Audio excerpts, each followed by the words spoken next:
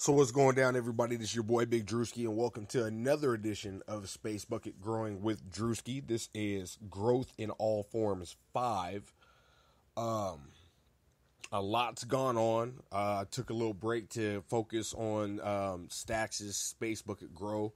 We got him on Tangimatic from Fast Buds. Uh, that's 2fast4buds.com.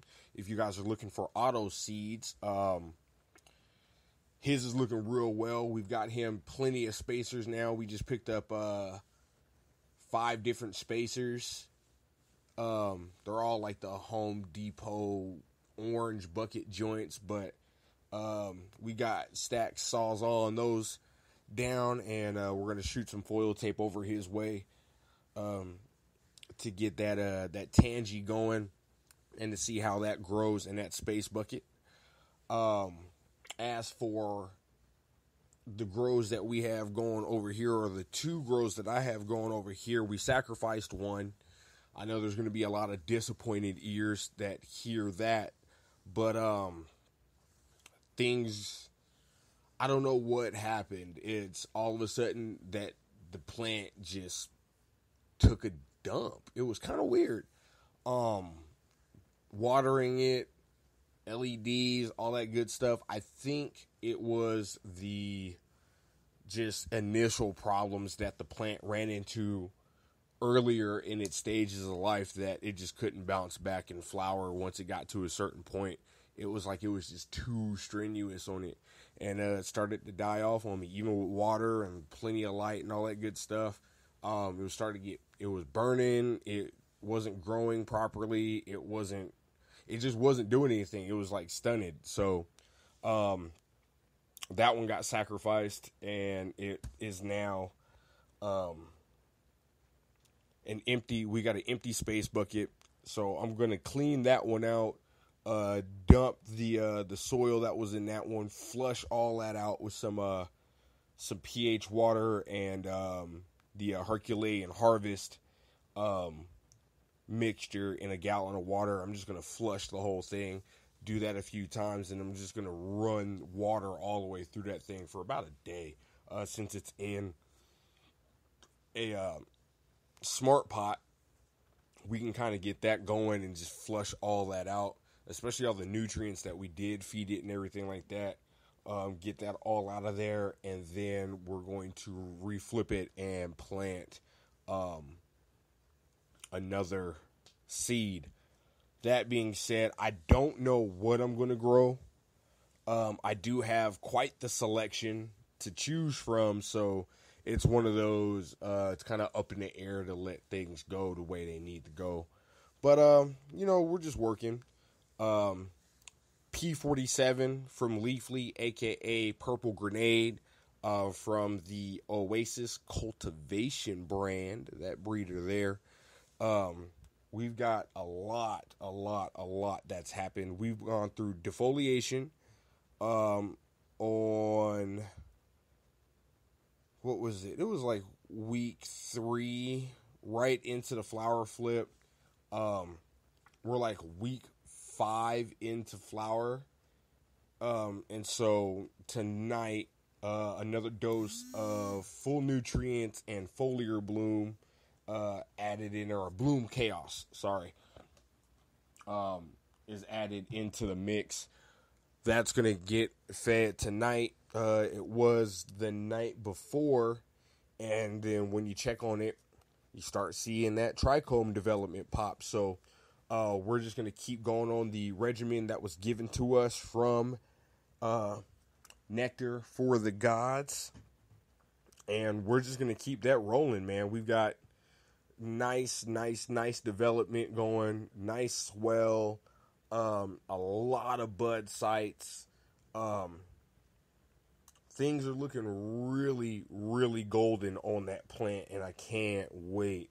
Um, like six more weeks until this thing's in my lungs, and man, the anticipation.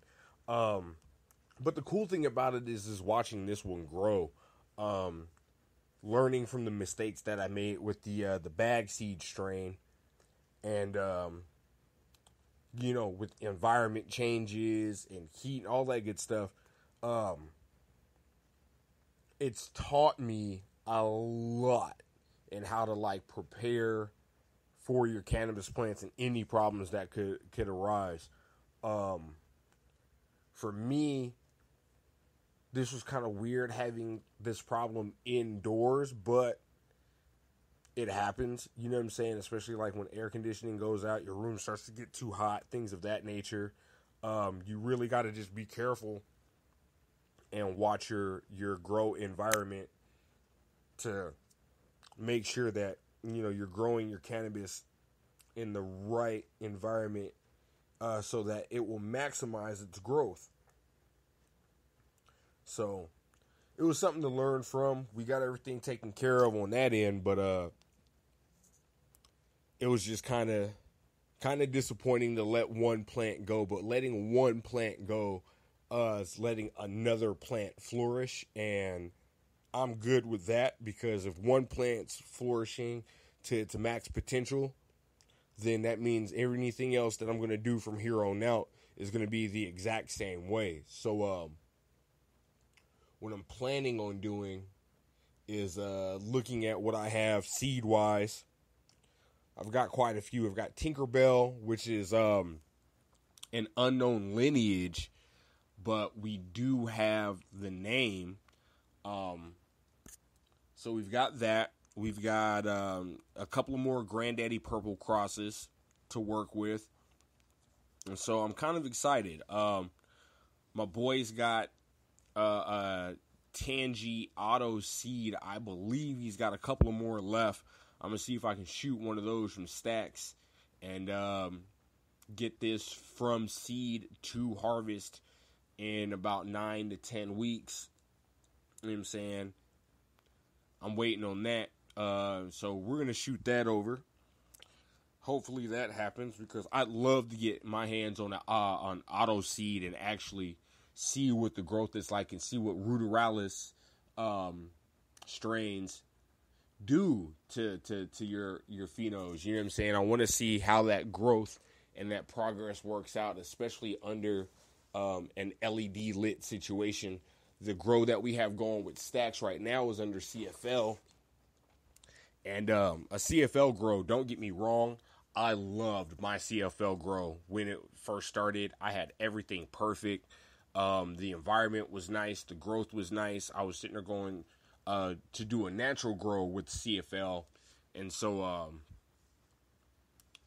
you know we we had that going, and then we switched it over to LED, but there was just too many problems in between.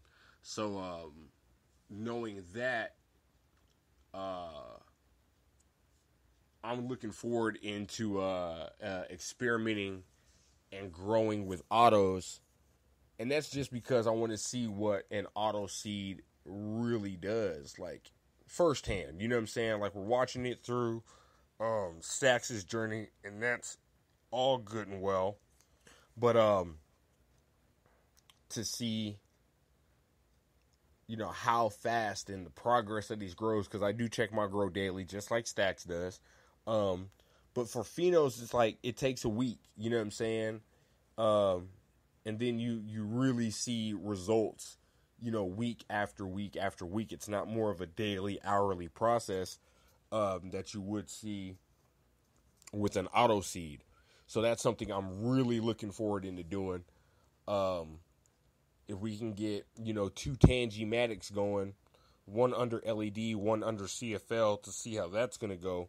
Um, I'd love to get that experiment started. So, um, you know, things of that nature have to happen. You know what I'm saying? You got to talk and connect with people. Hopefully, I can get that other seed from my boy, and uh, we can make things happen. As for the P47, uh, we have done some things that are true to the uh, the grow that we're doing. So, just to give you guys a little sample of what we've been using. We're using the Nectar for the Gods um, sample pack that they shot us, which includes their Olympus Up, which is a pH up because these are all organic uh, materials, hand bottled in small batches, so that you know what I'm saying they're uh, they're the same brews that they would use in their gardens um, on a smaller scale, but. Uh, you know, we're using that liquid calcium, which is the, the Demeter's Destiny. Um, so that has 0.5% phosphate and 4.0% calcium. And it's derived from calcium phosphate. Um, you want to shake all this really good. All of these that you want that you have from uh, these nectar for the gods, you really want to uh, shake and aerate and you know mix very well. Uh, this Herculean Harvest, which is the liquid bone meal, uh, we use this during feed, and then we can, we're going to also use this during our flush. So uh, while we're flushing out all the other nutrients and everything that are in the soil and everything like that, and uh, getting everything out of the plant and just having it water fed for the last uh, couple of weeks of its life before we harvest, we're going to go um, and use Herculean Harvest for our flush as well. Um, we have a growth enhancer, which is Zeus Juice. Oh, this stuff's got a. It's got some things in there I can't really uh, pronunciate or enunciate. Uh, but Zeus Juice Growth Enhancer. Uh, since I've been using all of these nutrients from Nectar for the Gods, I've actually seen a boost in growth um, and it's just amazing. Um, we also have another one from them. That's their uh, soil nutrient, which is Medusa's Magic. This is, uh, you know, another one that has a lot of stuff. This one looks like it's nitrogen. Yeah, this is like a lot of nitrogen here. So this soil nutrient with the growth enhancer with liquid bone meal with calcium. Then you have Gaia Mania, which is another supplement uh, that they have, and then we have Athena's Aminas, which is not listed as of what it is, but ah, nitrogen and in protein so there you go. You got nitrogen, protein, and then for the mid flowering to late flowering stages, uh, you can also use this as a foliar bloom. We've been using Bloom Khaos, which is the Nectar for the Gods foliar spray when you're in your um, veg period. And then when you're in mid flower and late flower, you're going to add this to your mix.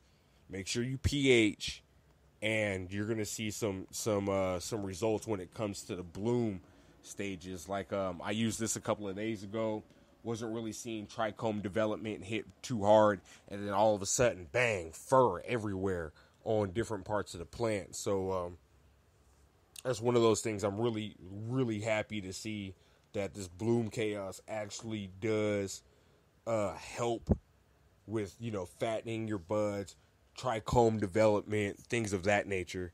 So um, those some really cool things to see.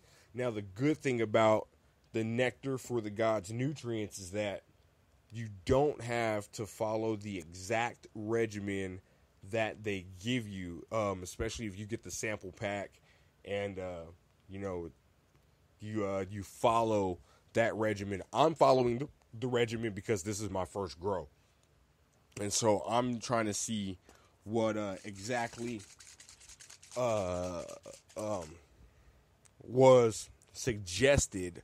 I guess you could say what was suggested in the grows and what you use and everything like that.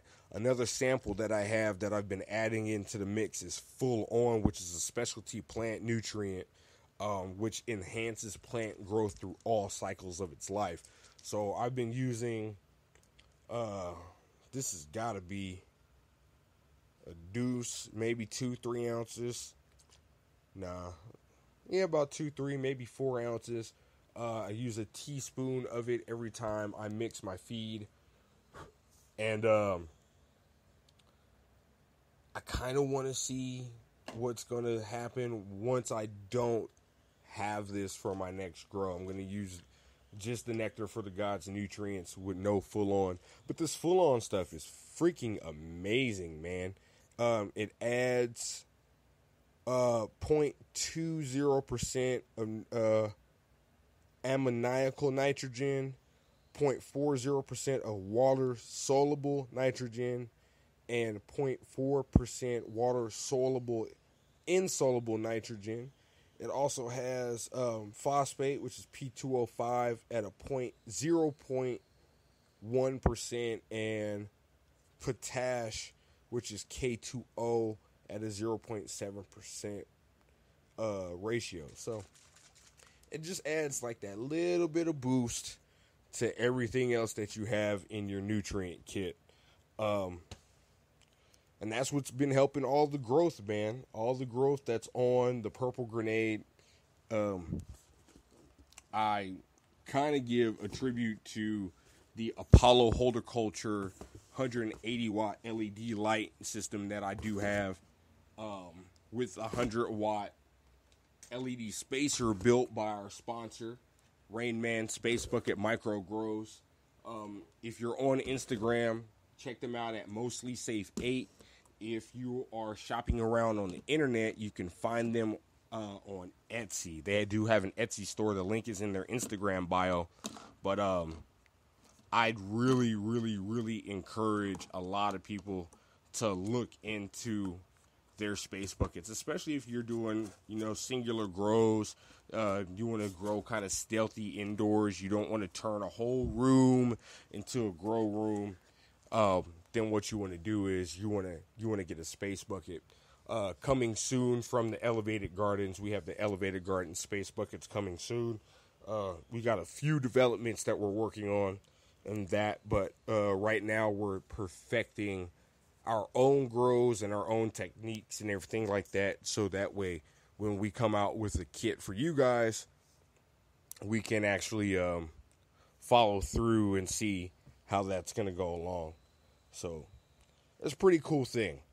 Um, it's just one of those things that, folks, this takes time and patience. Um, yeah, this is looking like a September harvest. No, October. October harvest. Like smoking. You know what I'm saying? Like early October hopefully by my anniversary, I'll have some P47 uh, ready to smoke. You know what I'm saying? Which would be super super dope.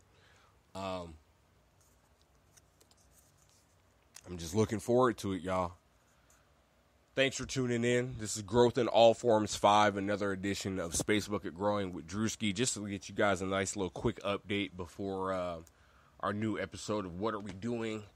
Uh, Saturday. It drops Sunday. Um, our first episode of Space Bucket Growing with Stacks is online. Um, if you're looking up the Elevated Lifestyle podcast, uh, you'll find us on the Spreaker Network. You can find all his stuff. Uh, follow Stacks510, uh, the show, him some support, and check out his Space Bucket Grow. Remember, he's doing a CFL build um, with Tangy Matic from Fast Buds. That's 2fast4buds.com. Um, myself, Oasis Cultivations. You look them up on Instagram. Uh, I am growing their P47. That's Leafly's name. It's purple grenade. And it looks like a purple grenade every time I look at that thing. The thing's so freaking awesome. So, y'all stay tuned, stay listening. Thanks for all your support. And uh, check us out on the Instagram. Follow us on the Grows. Holla at y'all one time, folks.